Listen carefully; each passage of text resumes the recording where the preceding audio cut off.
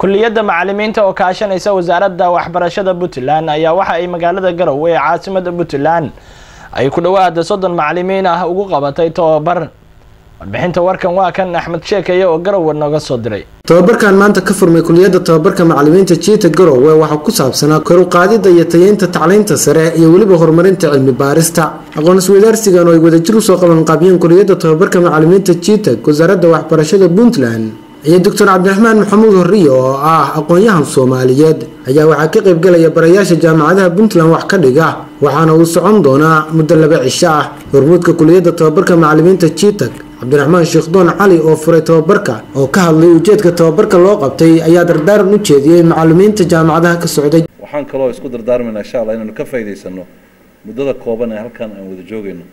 Runtii fursaddan oo kale looma helo iyadoo sidaan oo kale u dhacda. Waa loo safraa. Saan kolley puntland dhinaceeda markaan ka fiiriyo. Weli noocaan oo kale workshopahi sidaan oo kale uma dhicin. Macalimiinta jaamacadaha puntland ayaa dhankooda tilmaamay in barnaamijkani uu yahay mid muhiimad weyn u leh tacliinta sare. Tababarkan haddii aan leedmahayo markii la sii gudagalo inoo furfurmo insha allah waxay waxaan filayaa insha allah si fiican in aan kala faa'iidi doono. Farxad weyn inoo tahay inaan ka soo qayb galno mar labaad runtii waa barnaamij muhiim ah oo aada u qiimo badan. Maantana dunidu waxay u socotaa innovationka iyo researchka. Marka higher educationkuna waa qayb ka mid ah oo ka qayb qaadanaya horumarka. Si fiicanna aan u dhuuxno waxa uu xambaarsan yahay.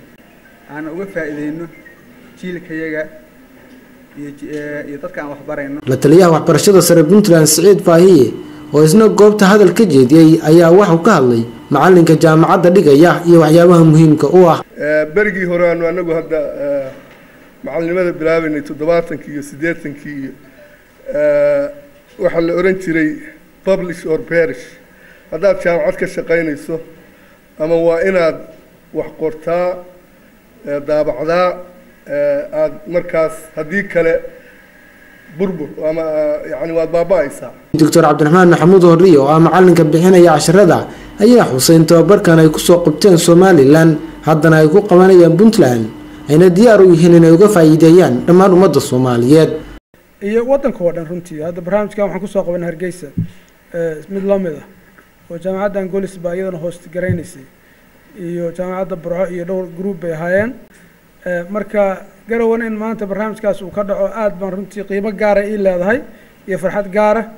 Intaasoo jaamacadoodna ay ka jiraan tan naftigeeda waa university college baan u malaynaya hadda kadib haddiiba ay digrii bixinayso. Kasoo qaybgalkiina farxad gaara ii tahay runtii inaan maanta halkan idinla wadaago. Jitag waa mahadsan yihiin iyo wasaaradda waxbarashada iyo la taliyaasheeda axmed sheekey warbaahinta s b c garowe